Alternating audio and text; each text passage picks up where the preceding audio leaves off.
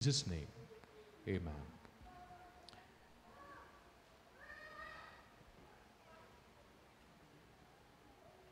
For the next six minutes, we are not going to do anything except to keep reading what is there right on the screen. So, all of us will maintain strict and holy reverence. We are in the presence of God. So, for the next six minutes, we will now continue to just keep reading.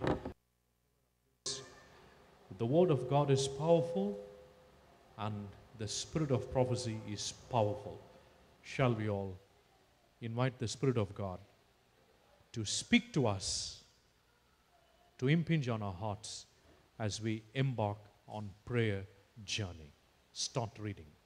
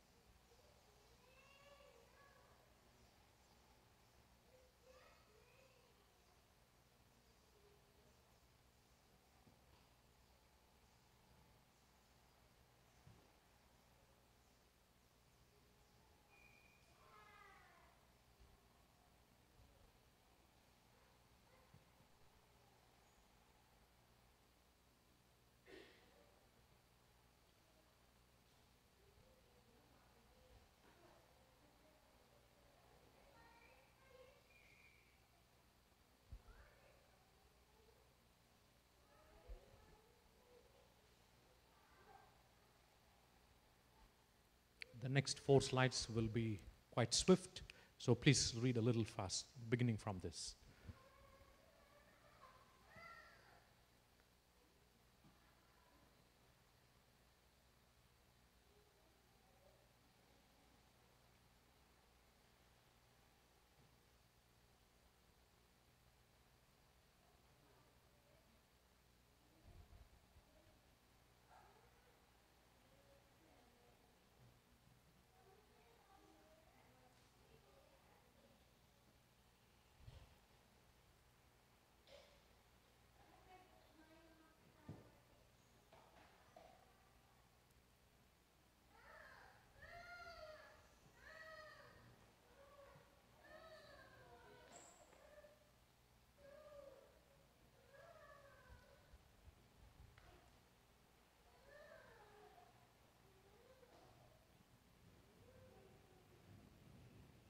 Last one.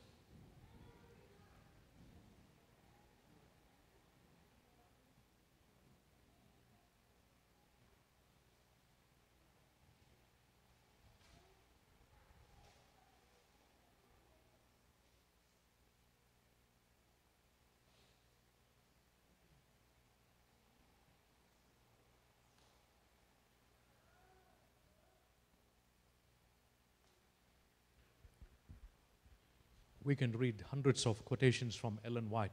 The point is simple. You don't have to do anything in this world. If you pray, it is very dangerous. It is more powerful than any nuclear weapon of mass destruction. It is the most dangerous weapon you can ever use to harm even your enemies. Pray for them. This afternoon, we are going to very specially pray for a few things. And as you are seated right now, the very first thing that you and I will engage to pray is we will kneel right now and ask forgiveness of all the sins that we've committed. If we have sins, God can never hear us. If I have iniquity, known sin intentionally, and if I have not confessed it, this prayer meeting is in vain. So we're all going to kneel down for about two minutes. And the first prayer that we will offer is prayer of confession of our sins. Two minutes.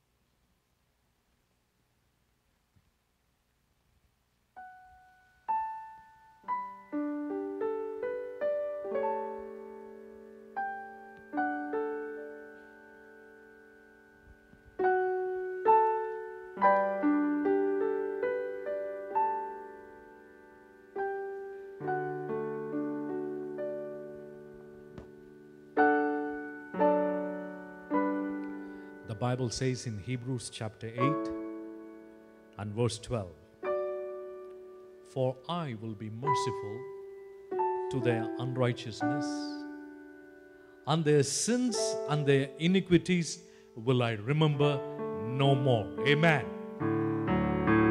Do you know even God has amnesia? God can never remember your sins. Your own friends can pick up your sins. What happened? We're going to sing this song, the first and the last stanza. Would you be free from the burden of sin? There is power in the blood. I want all of you to have this assurance. We are sinners, but by God's grace, by His blood, we are covered. Would you be free? Come on, everyone.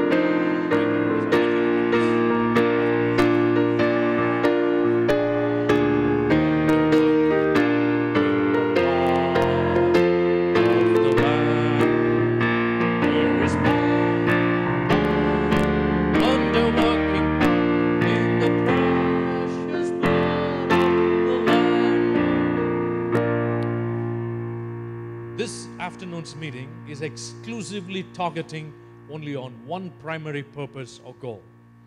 This morning, that we have been made new. Made new for what? We have been made new. Can you complete it? For what?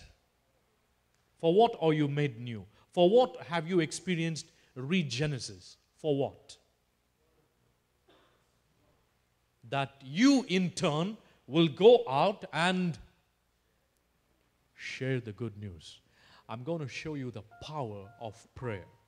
Come with me to China.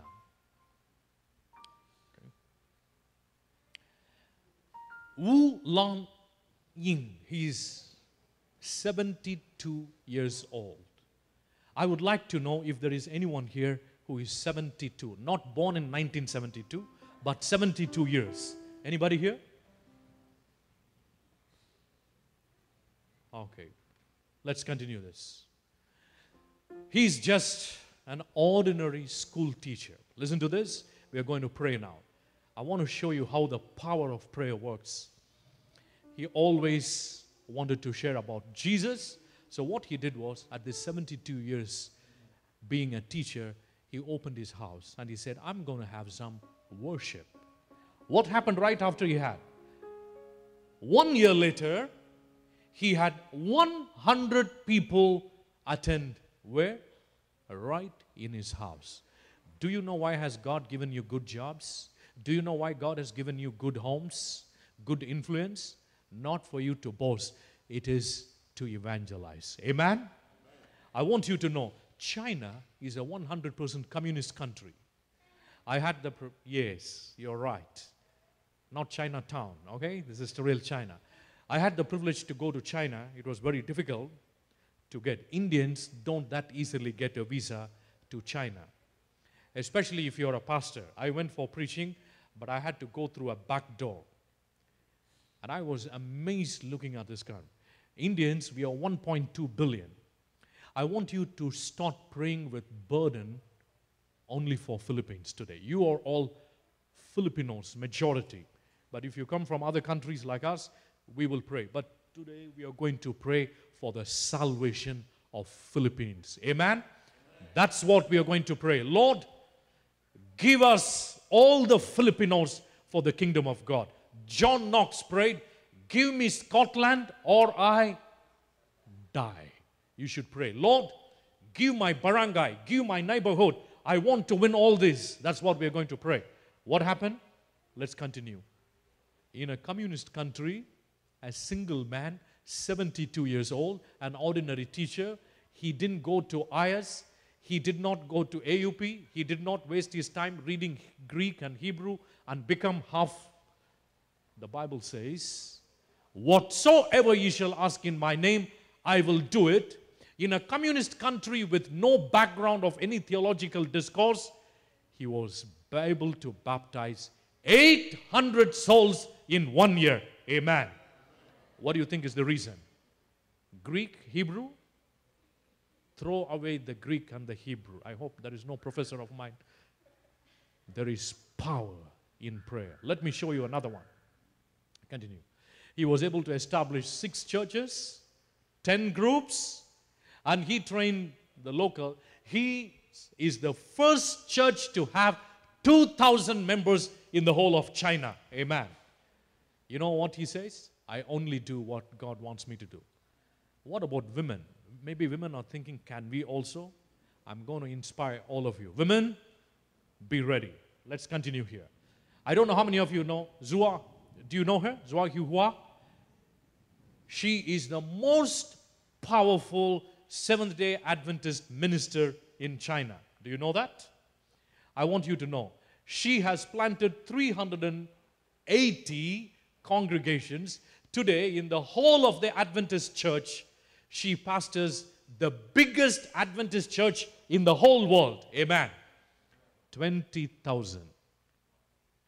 Do you know the name of the guy? I should not say guy, the pastor who's got the biggest church in the world in Korea. What's his name? Maybe I will give you a hint. He has a part of the name that I have. Paul Yonggi Cho. Let's look at this. Look at the other lady. Do you see another one there? These are the two most powerful ministers in the Adventist church in the whole world. They don't fight about women's ordination. No, no, we are not talking about that. They fight only for souls. I want you to give yourself a deep thought. I'm going to give you some statistics. Let's, let's go one, one thing before. Yeah, look there. She passes the 3,000 members, Big One Church, plus she oversees 117 churches, 7,000 members. That's the one on the left. Let's go to the next one quickly. Okay, I will give you some facts. They asked her, please tell us what is the reason you're so successful? You have 20,000, you have 7,000. Maybe there is something powerful that we can learn. I want you to look at her exact answer. The people come to the teachings and they see our zeal and the Holy Spirit. My friends, I'm going to give you two quotations from Ellen White. If God had taken the Holy Spirit out of the midst of the first Christian community, 95% of what they were doing would have ceased immediately. In other words, in the early New Testament times, if God took the Holy Spirit, 95% of what was happening would have come to a standstill. Let's go to the next one. Two diverse things cannot at once and the same time occupy the very same place. Your own life and the life of God cannot fill the heart at the same time. Your life hinders the entrance of the life of God. When your own life is cast out, the life of God will fill you. Last one. So long as I myself am something, Jesus Himself cannot be everything. My life must be expelled, then the Spirit of Jesus will flow in. In other words, as long as your life is something, Jesus cannot be everything. This afternoon, we are going to have a special prayer. How do you delete a file permanently from your system? How do you delete? Sometimes, if you delete, it goes to the trash. Then you get it to the recycle bin, then it comes back. If you want to delete it permanently, what do you do? What are the keys you press? Shift. You don't delete in your computer? I'm very sure you delete. Please tell me, those of you who are computer geeks, how do you delete? Shift and okay, it's high time you buy a computer after after sunset. This evening, we are going to pray for something. You know what is the greatest hindrance for prayer? You know why most of us are not accustomed to praying? Self, ego, pride. I'm going to ask the Karoro family to give one special song now. As they are singing, I want all of us to search our hearts. And as we search our hearts, we are going to ask God, Lord, cast away cast away everything in my life which is a hindrance, and may the Spirit of Jesus. Now we have confessed our sins. Now we are going to ask God to remove self, to remove ego, to remove pride. Pastor Karora and family, please come forward. Let everybody focus only on Jesus. I want to read this one more time. As long as I myself am something, Jesus cannot be everything. My life must be expelled. Then the Spirit of Jesus will flow in. Right now, God wants to expel your life and He wants to allow the Spirit of God to flow in you. Please allow your life to be a Jordan River where it will flow. Don't be a Dead Sea where only you flow. You don't allow anything to flow. Cast away yourself in Jesus' name. May Jesus fill you with His Spirit.